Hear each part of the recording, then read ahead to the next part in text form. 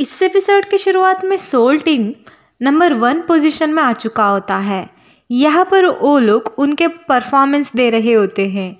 यहीं पर यूनसांग कहती है, जब मैं सोल का फ्यूचर देखी थी, तब मैंने सोल की सॉन्ग को टॉप में आते हुए देखी थी। उनके सॉन्ग फ़ेमस होने का रीज़न एक चार साल की लड़की है। जब उसकी माँ लाइव न्यूज़ में थी, तब वो लड़की वहाँ चिकन पीस लेकर आई थी। ये वीडियो वायरल हुआ था। इसके वजह से सोल टीम को भी पहली सक्सेस मिली है, क्योंकि सोल टीम चिकन का एडवर्टाइजमेंट भी किए थे। तो लोग उन लोगों का एड को देखने लगे, जहाँ पर उनके सॉन्ग भी प्ले हो रहा था। और वो कहती है, सोल टीम का सक्सेस का सेकेंड रीज़न है टाई और यूनबिन का डुएट सॉन्ग है और हीना की सॉन्ग जिसे यूनसू ने लिखा था। और तो और, यूनहो और चुंगा की मूवी का सॉन्ग इन सब के वजह से सोल का सॉन्ग पॉपुलर हो चुका है। और वो कहती है, अब उन लोगों का एनिमेशन भी चीना में बन चुका है। ये सब में मैं फ्यूचर में देखी थी। इसके थ्री वीक्स बाद हुआ। फिर जब सोल टीम का परफॉर्मेंस ख़त्म होता है, तब एंकर सब गेस्ट को स्टेज पर बुलाती है। तब सब आइडल्स स्टेज पर आते हैं। ये एंकर आज का म्यूज़िक स्टार्ट विनर को अनाउंस करने लगती है। फिर सीन चेंज होता है और हम ऑफ़िस का सीन को देखते हैं, जहाँ पर मिस्टर कीम और सभी स्टाफ सोल टीम का सक्सेस का रीज़न के बारे में बात कर रहे होते हैं। और वो लोग यूनसांग कहाँ है कहकर पूछते हैं। हम यूनसांग को देखते हैं, जो पार्क के साथ ऑफ़िस में होती है, जो वहाँ आईरिप के प्रॉब्लम के बारे में पूछने के लिए आई थी। तभी पार्क यूनसांग से पूछता है, तुम भी मेरे जैसे फ्यूचर को देख सकती हो क्या? यूनसांग कहती है हाँ ये पावर मुझे मेरी ग्रैंड माँ से मिली है। मेरी ग्रैंड माँ को, इस पावर को यूज़ करने के वजह से, उसे वो पावर कर्ज बन चुका है। और वो पूछती है, आपने कहा था कि अगर हम फ्यूचर को देखेंगे तो हम कुछ वैल्यूएबल चीज़ों को खो सकते हैं। इसका मतलब ए पावर सबके लिए एक जैसे काम नहीं करता है, बल्कि अलग अलग इफ़ेक्ट देता है। पार कहता है हाँ जैसे कि कोई अपना मनी फैमिली फेम को भी खो सकते हैं। तभी यूनसांग कहती है, क्या इसके वजह से मैं मेरी मेमोरी को खो सकती हूँ? तभी पार्क कहता है, ए, अभी तक मुझे भी पता नहीं है, लेकिन अगर हम पावर्स को नेचर के खिलाफ यूज़ करेंगे, हो सकता है। तभी यूनसांग पूछती है, फ्यूचर को ना देखने के लिए कोई रास्ता नहीं है क्या? तभी पार्क पूछता है, क्या तुम्हें तुम्हारी पावर्स पसंद नहीं है? यूनसांग कहती है, नहीं, क्योंकि जब मैं फ्यूचर को चेंज नहीं कर सकती हूँ तो मुझे बैड फील होता है। तभी पार कहता है, अगर तुम्हारे प्रेजेंट डे बैड फील हो रही होगी तो तुम्हारे नाइटमेयर भी वही बैड ड्रीम बन जाएगा. तभी यूनसांग पूछती है, अगर मैं प्रेजेंट में हैप्पी हो तो क्या हो जाएगा? पार कहता है, तुम्हारी ड्रीम्स भी अच्छी होंगी. तभी यूनसांग पूछती है, अगर मुझे गुड ड्रीम्स आ जाएगी, क्या फ्यूचर भी चेंज हो जाएगा? तभी पार्क बताता है हाँ तो तुम प्रेजेंट को कैसे खुश रखना है, इसके बारे में सोचो। तभी यूनसांग और सवाल पूछने वाली होती है, लेकिन पार्क का टाइम ख़त्म होता है और वो कहता है, अब हम बहुत बात कर चुके हैं तो तुम्हें और बात करनी है तो तुम मेरा मंथली मेंबरशिप ले लो। कहकर उसे पोस्टर को दिखाता है। इसके बाद यून संग वहाँ से चली जाती है। जाते वक्त उसे पार्क का बात याद आ जाती है, जहाँ पर वो कह रहा था कि तुम फ्यूचर को देखकर तुम्हारी प्रेजेंट को कम टाइम दे रही हो। ये सबको याद कर कर यूनसांग परेशान हो जाती है। फिर हम डायरेक्टर कांग और यूनसांग को देखते हैं, जहाँ पर यूनसांग डायरेक्टर कांग को आईरिब और सियोल जी का वीडियो को दिखाकर, ये सब मेरी गलती है।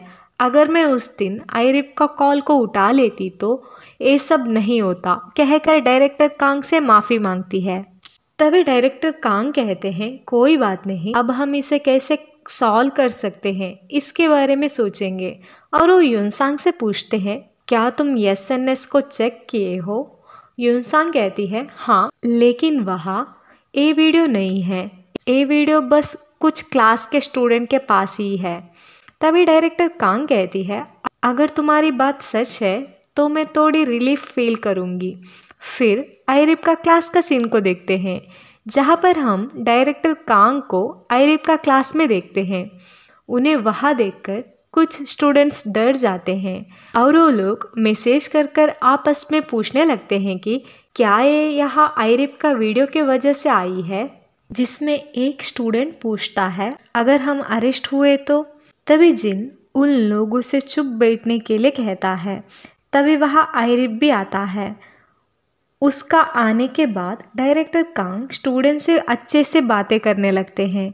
और उन लोगों से पूछते हैं फ्यूचर में किसको आइडल बनना है? तभी कुछ स्टूडेंट्स हाथ को ऊपर करते हैं। तभी डायरेक्टर कांग कहती है, तुम लोगों को पता होना चाहिए कि डेब्यू करना आइडल का आखिरी गोल नहीं है। इसके बाद तुम लोग अच्छा सॉन्ग करेंगे तो इसका मतलब तुम्हारे डिफ़िकल्ट भी बढ़ जाएगा। एक मिस्टेक और एक मिसअंडरस्टैंडिंग का वजह से लोग तुम्हें हेट करेंगे और बाकी ग्रुप को चूज़ करेंगे। वो स्टूडेंट से पूछती है तो ऐसा क्यों होता है? तभी एक स्टूडेंट कहता है, क्योंकि वो लोग पॉपुलर है, इसीलिए। डायरेक्टर कांग तुम्हारे बात सही है। जब पॉपुलैरिटी बढ़ जाएगा तो जेलस भी बढ़ जाएगा ना?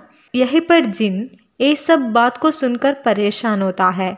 तभी डायरेक्टर कांग, जिनके पास आकर उन लोगों से अगर कोई उनके यंग एज में किसी का टैलेंट को देखकर जेलस फील करते हैं तो बड़े होने के बाद भी एक कंटिन्यू होता है।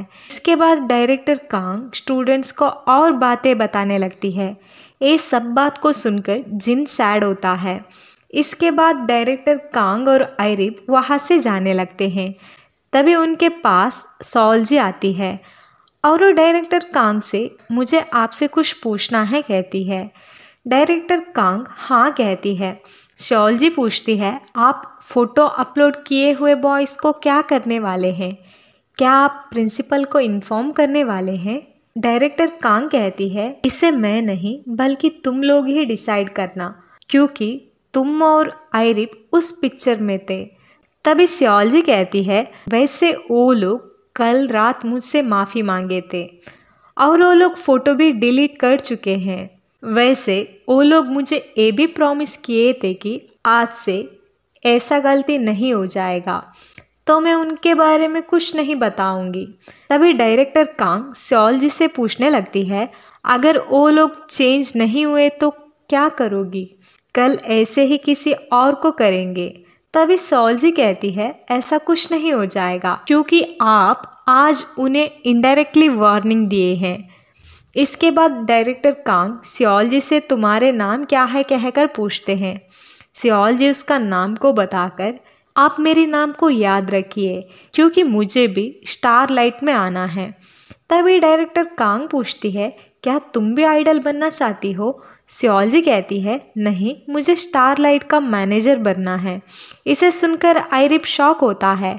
तभी डायरेक्टर कांग मुस्कुराते हुए सियोलजी से पूछते हैं, तुम मैनेजर बनना क्यों चाहती हो? तभी सियोलजी कहती है, क्योंकि आयरिब ने कहा है कि उसका मैनेजर ग्रेट है। तभी डायरेक्टर कांग आयरिब से बताती है, तुम सब लोग यूनसांग के बारे में बात करते हो, लेकिन यहाँ तुम्हें मदद करने के लिए मैं आई हूँ। तभी आयरिप बताता है, ऐसा कुछ नहीं है, आप भी अच्छे हो।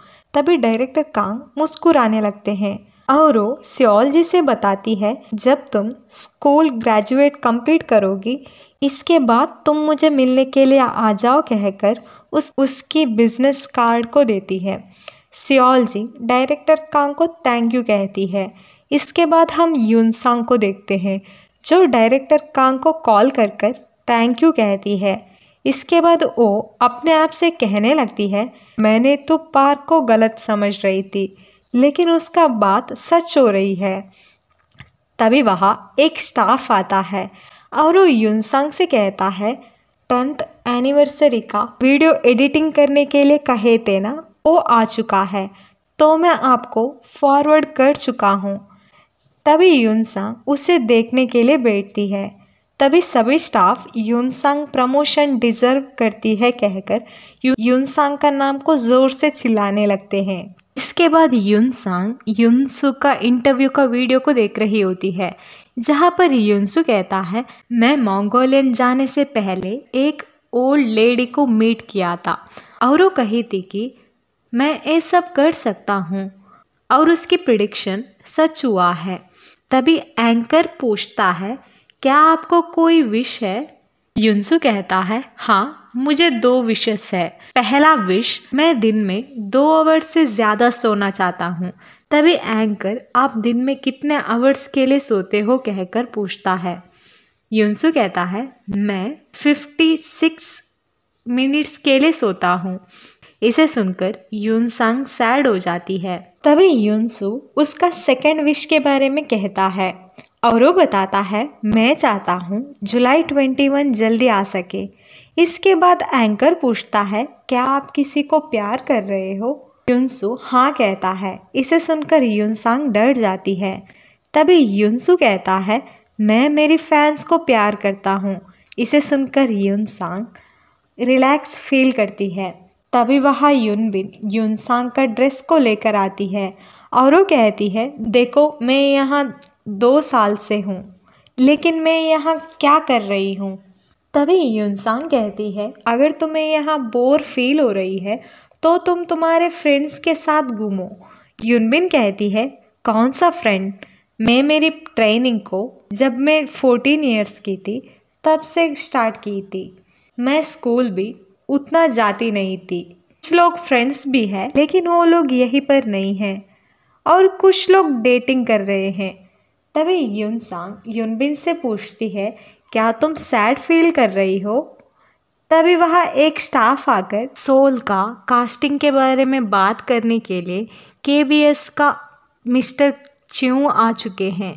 उसे सुनकर युनसांग पूछती है, क्या मैं उससे आज ही बात करूँ? तभी वो स्टाफ कहती है हाँ तो तुम जल्दी उन्हें कांटेक्ट करो, क्योंकि वो मुझे कॉल किए थे। तभी युनसांग शेड्यूल को देखने लगती है।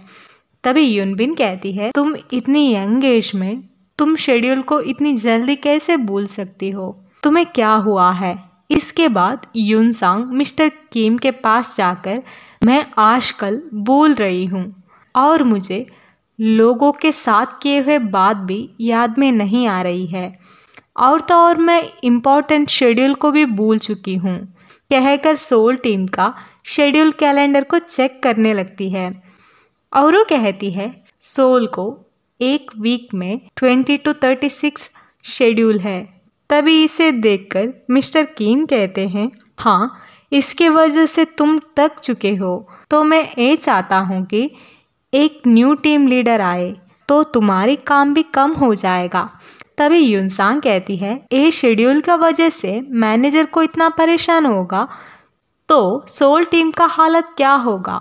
युनसु का विषय कि वो दिन में दो आवर्स के लिए सो सके। और यून हो अब मूवी कर रहा है। उसका क्या हाल होगा? और चारों मेंबर्स भी बहुत हार्ड वर्क करते हैं। उनका क्या हाल है? कहकर पूछने लगती है। तभी वह डायरेक्टर कांग आती है। उसे आते हुए देखकर यूनसांग चुप हो जाती है। तभी डायरेक्टर कांग यूनसांग के पास आकर बैठ जाती है। और वो बताती है, मुझे भी तुम्हारी बात को सुनना है। और सोल टीम का कैलेंडर को ले लेती है। इसके बाद डायरेक्टर कांग सोल का शेड्यूल को चेंज कर कर दिन में सिक्स आवर्स तक रेस्ट देने का डिसीशन ले लेते हैं। इसे सुनकर युन सांग और मिस्टर किम खुश हो जाते हैं। फिर हम आयरिब और सियोल जी को देखते हैं, जहाँ पर आयरिब सियोल जी को उसका रिकॉर्डिंग स्टूडियो में लेकर आता है। सियोल जी को देखकर एक स्टाफ पूछते हैं क्या ये तुम्हारी गर्लफ्रेंड है? आयरिब कुछ नहीं कहता है। इसके बाद उस स्टाफ को हूर का कॉल आता है और वो आयरिब कहाँ है कहकर पूछता है। तभी वो स्टाफ आयरिब स्टूडियो में मेरे साथ है कहता है। इसे सुनकर हूर आयरिब से कॉल में बात कर कर जल्दी आने के लिए कहता है। आयरिब, मैं दस मिनट में आता हूँ कहता है। इसके बाद वो स्टाफ सियोलजे और आयरिब को वहाँ अकेले छोड़कर बाहर जाता है। इसके बाद आयरिब सॉल जी को उसका सॉन्ग को सुनाने लगता है। यहीं पर दोनों अच्छे से टाइम स्पेंड करते हैं। फिर हम स्टाफ्स को स्टारलाइट का टेंथ एनिवर्सरी को प्रिपेयर करते हुए देखते हैं, जहाँ पर यून सांग भी काम कर रही होती है। इसके बाद यून सांग चेयर को बाहर रखने के लिए जाती है। जिसमें मिस्टर किम का मोबाइल होता है, तभी मिस्टर किम को मैसेज आता है। इसे देखकर यून सांग मिस्टर किम का मोबाइल को उठाकर मैसेज को पढ़ने लगती है, जो मैसेज यूनसु का होता है। जहाँ पर वो मिस्टर किम को, मुझे यहाँ रहने में मुश्किल हो रहा है तो आप मुझे मोंगोलियन जाने के लिए फ़्लाइट बुक करिए, कहता है। इसे देखकर यूनसांग शॉक हो जाती है। तभी वहाँ यूनसु आता है। यूनसु को देखकर यूनसांग उसके साथ बात करने के लिए जाती है और यूनसु से पूछती है, क्या तुम मोंगोलियन जा रहे हो? तुम इतनी बड़ी बात को मुझसे क्यों नहीं बताए हो? कहकर पूछने लगती है। तभी यूनसु कहता है, मैं मोंगोलिया जाने के लिए कुछ अरेंजमेंट नहीं किया हूँ। यूनसांग कहती है, तुम ये सब अरेंज मुझे छोड़कर कर रहे हो। युनसु कहता है, तुम अब बिज़ी हो तो मैंने तुम्हें नहीं बताया था।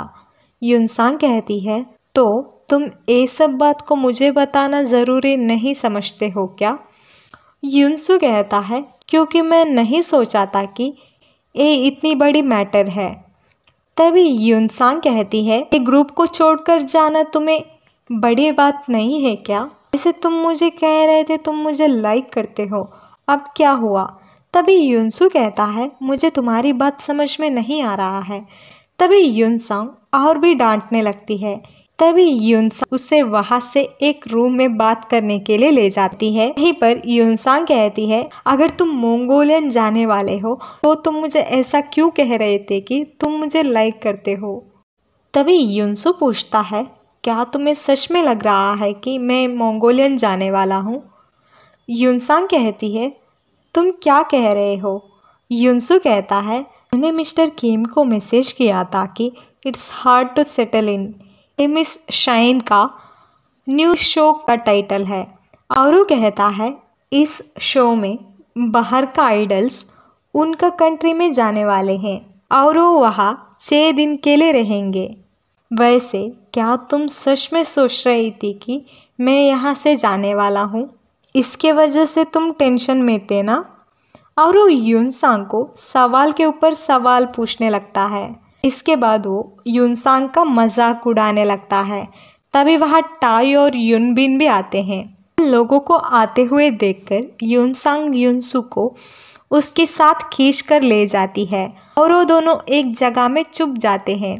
यहीं पर यूनबिन टायू से कहती है, हम दोनों भी अब बिज़ी है। तो हमें आज से ये सब स्टॉप करना है। तभी टायू पूछता है, तुम क्या कह रही हो? युनबिन कहती है, हमारे पास सोने के लिए भी टाइम नहीं है। इसके बीच में मिलना बहुत मुश्किल है। और तो और, कुछ फैंस भी हमारे बारे में नोटिस करेंगे। ये सबको सुनकर टायू सैड हो जाता है। तभी युनबिन कहती है, जब हम टीवी शो में मिलेंगे, तब तुम वियर्ड एक्ट मत करो। जस्ट हेलो कहो। टायू युनबिन का बात को मान जाता है। तभी युनबिन कहती है, इसके बाद तुम फिर से एप्पल मिंट का मेंबर को डेट मत करो। वैसे तुम थोड़ी टाइम के लिए यहीं पर ही रहो। अब मैं जाती हूँ। अगर हम दोनों साथ में जाएँगे तो लोगों को पता चलेगा। कहकर वहाँ से जाने लगती है। ये सबको युन सांग और युन सो चुप कर सुन लेते हैं। यहीं पर टायू युनबिन का जाने के बाद रोने लगता है और वो भी वहाँ से चला जाता है। टायू के जाने के बाद युनसो और युनसांग बाहर आते हैं। तभी युनसांग युनसु से पूछती है, उन दोनों के बीच में क्या चल रहा है? युनसु कहता है, क्या तुम्हें पता नहीं है क्या? वैसे, क्या तुम उन दोनों के बारे में मिस्टर किम से बताने वाली हो? युनसांग कहती है, मैं उन्हें ब्रेकअप करते हुए देखी थी तो मैं क्यों बताऊँगी? और वो युनसु से पूछती है, हम दोनों थ्री इयर्स के बाद क्या करेंगे? क्योंकि थ्री इयर्स के बाद नो डेटिंग का कॉन्ट्रैक्ट भी ख़त्म होता है। ए कहकर युनसांग मैं अब बाहर जाती हूँ तो तुम टू हंड्रेड तक काउंट करो, कहकर वहाँ से जाने लगती है। युनसंग के बात को सुनकर यूनसु खुश हो जाता है। फिर हम स्टारलाइट का एनिवर्सरी का सीन को देखते हैं। जहाँ पर डायरेक्टर कांग स्पीच दे रहे होते हैं, यहीं पर सब आइडल्स भी होते हैं। यहीं पर टायू युनसांग से कहता है, मुझे बिलीव नहीं हो रहा है। युनहो आज का दिन एबजेंट है। युनसांग कहती है, क्योंकि उससे फ़िल्म है और वो भी यहाँ आना चाहता था, लेकिन वो नहीं आ पाया है। इसके वजह से वो सैड फील कर रहा है। तभी हूर कहता है, आयरिब भी यहाँ नहीं है। आज यहाँ आफ सोल है। कहकर उन लोगों का मज़ाक उड़ाने लगता है। तभी युनसो हूर से पूछता है, वैसे आयरिप को स्कूल जाने में उतना इंटरेस्ट नहीं था तो अचानक उसे इंटरेस्ट कहाँ से आया? इसे सुनकर मुझे थोड़ी अजीब लग रही है। तभी टायू कहता है, मुझे लगता है आयरिब को डेटिंग से केयरफुल रहना चाहिए। एक कहकर वो युनबिन की ओर देखने लगता है। इसके बाद डायरेक्टर कांग की स्पीच खत्म होता है और वो सबसे ग्रुप फ़ोटो लेने के लिए बुलाती है। जब वो लोग फ़ोटो के लिए रेडी होते हैं, तभी वहाँ मिस्टर बाइक आते हैं और डायरेक्टर कांग के पास आकर आप आपके काम को एंड तक अच्छे किए हैं, कहकर डायरेक्टर कांग को कंग्रेचुलेशन कहता है। मिस्टर बाई का बात को सुनकर सब लोगों को अजीब लगता है। तभी डायरेक्टर कांग सब लोगों से बताती है मैंने तो फ़ोटो लेने के बाद अनाउंसमेंट करने वाली थी, लेकिन मैं अब आप लोगों को गुड बाय कहना चाहती हूँ। इसे सुनकर टायू, क्या यह इडन कैमरा रखा है? कहकर पूछने लगता है। तभी मिस्टर बाइक, डायरेक्टर कांग को ग्रुप फ़ोटो में ज्वाइन करने के लिए कहता है। फ़ोटो लेते वक्त युनसांग अपने आप से पूछने लगती है, यहाँ क्या हो रहा है? क्या डायरेक्टर कांग स्टारलाइट को छोड़ने वाली है? तभी मिस्टर गुहान ड्रिंक्स का बॉटल को खोलने लगता है। इसके वजह से सब लोग शॉक हो जाते हैं। यूनसांग सडनली फ्यूचर देखने लगती है, जहाँ पर वो कॉल में बातें करते हुए जा रही होती है। तभी उसके पास सियोलजी आती है और वो यूनसांग को लीडर कहकर बुलाती है और वो यूनसांग को सोल का आर्टिकल को दिखा रही होती है, जहाँ पर आर्टिकल ग्रुप का अनएक्सपेक्टेड ब्रेकअप के बारे में लिखा हुआ होता है। इसे देखकर युनसांग परेशान होती है। तभी हम प्रेजेंट का सीन को देखते हैं, जहाँ पर युनसांग फ्यूचर को देखकर शॉक हो जाती है। तभी युनसांग को पार्क का बात याद आ जाती है, जहाँ पर वो कह रहा होता है कि, तुम प्रेजेंट को हैप्पी करने के बारे में सोचो। तुम्हारी प्रेजेंट हैप्पी हो जाएगा तो तुम फ्यूचर को भी चेंज कर सकती हो। इसके बाद डायरेक्टर कांग सबको गुड बाय कहकर वहाँ से जाने लगती है। यहीं पर सब लोग सैड हो जाते हैं। तभी युनसांग डायरेक्टर कांग को रोक कर मैं भी आपके साथ आ जाऊँगी, कहती है। डायरेक्टर कांग मान जाती है और वो दोनों वहाँ से जाने लगते हैं। युनसांग को जाते हुए देखकर युनसु भी उसका पीछे जाने लगता है और वो उसके हाथ को पकड़ता है। तभी युनसांग कहती है, मैं तुमसे अब कुछ नहीं कह सकती हूँ। तभी युनसु पूछता है, क्या तुम आज से हमारा मैनेजर नहीं हो? युनसांग नहीं कहती है। इसे सुनकर युनसु सैड हो जाता है। इसके बाद डायरेक्टर कांग युनसु को एक जगह लेकर जाती है जिससे डायरेक्टर कांग उनके न्यू स्टूडियो बनाना चाहती है। इसे देखकर युनसांग शॉक हो जाती है। तभी डायरेक्टर कांग युनसांग से कहती है, मेरे पास एक आइडिया है। और मैं आइडल का वर्किंग टाइम को नाइन टू फाइव करने वाली हूँ। तभी यूनसांग पूछती है, नाइन टू फाइव टाइम काफ़ी हो जाएगा क्या? तभी डायरेक्टर कांग कहती है, ये मेरी ड्रीम है। तो तुम बड़ी ड्रीम्स को क्यों नहीं सोचती हो? तभी युनसांग फ्यूचर को देखने लगती है, जहाँ पर मिस्टर किम यूनसांग को डायरेक्टर कहकर उसके पास आता है। जहाँ पर सोल जी भी उसके साथ होती है, इसके बाद युनसंग वहाँ से जाती है। तभी कुछ फैंस सोल का नाम को चिल्लाते हुए आते हैं। तभी युनसांग एक पियानो को प्ले करते हुए एक आदमी के पास आती है, जिसका नाम डोंग यू और वो डोंग यू को अवार्ड मिलने के लिए कंग्रेचुलेशन कहती है। तभी सोल का फैंस को चिल्लाते हुए देखकर डोंग यू युनसांग से पूछता है ए आइडल काफ़ी फ़ेमस होंगे, इसीलिए फैंस चिल्ला रहे हैं। लेकिन मैं उन्हें नहीं जानता हूँ। युनसांग मैं भी नहीं जानती हूँ, कहती है। और उसके साथ जाने लगती है। इसे देखकर युनसांग फ्यूचर चेंज होने वाला है। लेकिन मैं सोल टीम को फ्यूचर में कैसे बोल सकती हूँ, कहकर परेशान हो जाती है। फिर हम 2007 का सीन को देखते हैं, जहाँ पर युनसांग एक लड़के को आइडल का जैसे पोज करने के लिए सिखा रही होती है। तभी वहाँ उसकी ग्रैंड माँ आती है और वो यूनसांग से पूछती है, क्या तुम फिर से सिंगर का गेम खेल रही हो? तभी यूनसांग नहीं कहती है, लेकिन यूनसो, हम तो जस्ट सिंगर खेल रहे हैं, कहने लगता है। इसे सुनकर यूनसांग को गुस्सा आ जाती है। तभी ग्रैंड माँ यूनसांग से, ये लड़का कौन है? कहकर पूछती है। लेकिन यूनसांग क्या आप टैबलेट लेना भूल चुके हो? कहकर घर के अंदर जाती है। युनसंग के जाने के बाद ग्रैंड माँ युनसु से, तुम्हारा नाम क्या है? कहकर पूछते हैं। तभी युनसु उसका नाम को बता देता है। तभी वह युनसांग ग्रैंड माँ के पास आती है। तभी ग्रैंड माँ युनसु से, तुम जब फिर से युनसांग को मिलोगे, तब अच्छे से टाइम स्पेंड करोगे, कहती है। यहीं पर टॉप मैनेजमेंट का फाइनल एपिसोड ख़त्म होता है।